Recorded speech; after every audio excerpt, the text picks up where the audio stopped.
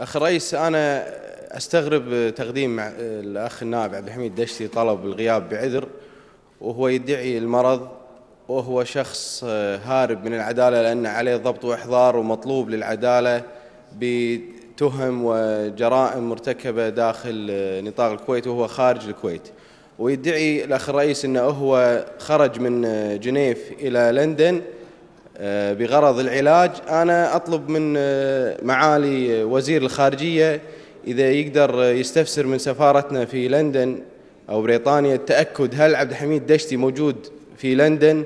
وهل طول هذه الفترة اللي هو يدعي وجوده هناك هل خرج منها ولا لا؟ لأن إحنا نبي نتأكد وهو موجود هناك ولا خرج. وأعتقد أن الأمر سهل يبين معانا. إحنا يعني آه، مثل ما يقول الله عز وجل إذا جاءكم فاسق بنبأ فتبينوا. إحنا نبي نتبين ونتأكد هل هو موجود للعلاج في لندن ولا خرج؟